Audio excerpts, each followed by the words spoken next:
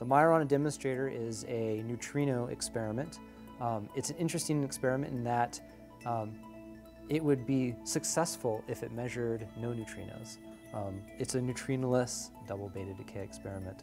Um, the goal of that experiment is to test whether or not it is possible for nuclei to decay in a way that we've never seen before.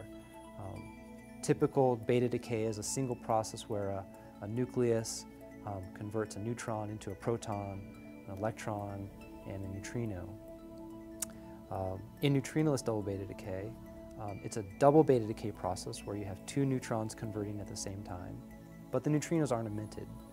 Um, they don't come out. And that would be a violation of all of the, the laws of physics that we're familiar with today.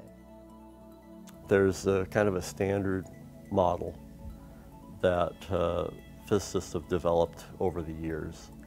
Portion of that model uh, would either be confirmed or uh, refuted in the process of, of measuring neutrinoless double beta decay. Why is that important? Um, it throws into question um, our whole understanding of matter and frankly our understanding of the universe itself.